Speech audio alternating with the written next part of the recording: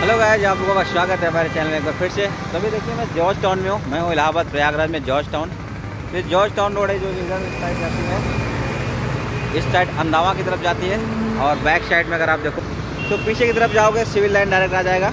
George town में मैं stand हूँ। तभी मैं जा रहा था रास्ते में। तो देखिए, मुझे एक ये ये भाभी जी मिली, लिट्टी चोखो वाली, जो कि ये बिहार की बहुत ही फ़ेमस डिश है। तो इलाहाबाद में बहुत ही कम दिखती है। तो आज मैंने देखा, यहाँ पे देखिए लिट्टी चोखा बना रहे थे। तो ये लिट्टी है। और ये मखनी डाल के इसके अंदर बनाते हैं और इसको घी में डुबो के रखते हैं। तो मैंने सोचा कि आप लोगों को दिखाता हूँ। तो चलिए एक प्लेट लगाते हैं और देखते हैं कैसा रहता है खाने में। तो इलाहाबाद में मैंने रेयर केस में दिखता है, कहीं कहीं है।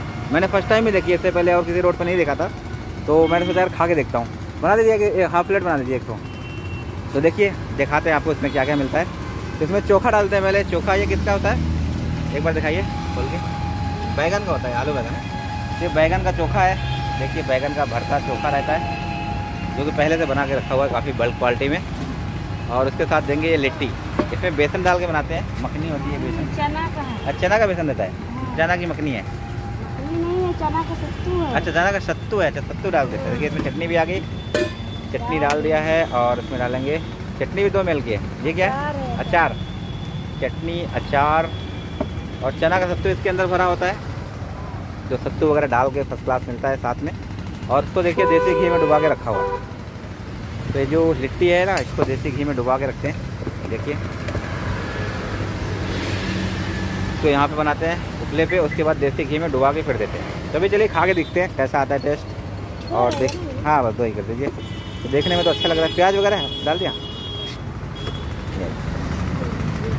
तो हाँ जाते हैं, चलिए।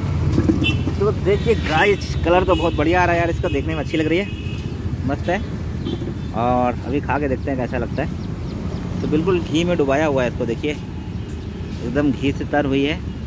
देसी घी में डुबा के रखते हैं इसको बहुत ही हार्ड है। ओह टाइट बहुत है इसको दोनों हाथ से तोड़ना पड़ेगा। बट देसी घी में बिल्कुल एकदम डूब चुका है ये। तो तोड़ के देखते हैं कैसा रहता है। इलाहाबाद में बहुत ही कम देखने को मैंने फ़र्स्ट टाइम देखा है तो इसलिए मैं रुक गया। तो देखिए, बीस रुपए की दो प्लेट है। तीस रुपए की दो प्लेट। सब कुछ मिला के दिया हुआ है। के देखते हैं।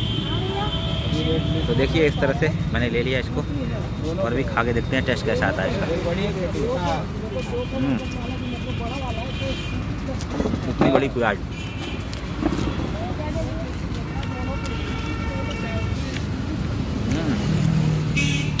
खाने में बड़ी टेस्ट है। यूनिक सा टेस्ट है, चटपटा था तो खाने में अच्छा लग रहा है? स्नैक्स, नाश्ते में या फिर टी टाइम में आफ्टरनून में आप खा सकते हो। आई थिंक ये पेट भरने वाला तो नहीं होगा। लेकिन चटपटा है, बढ़िया है, खाने में बहुत मज़ा आ रहा है अच्छा लग रहा है।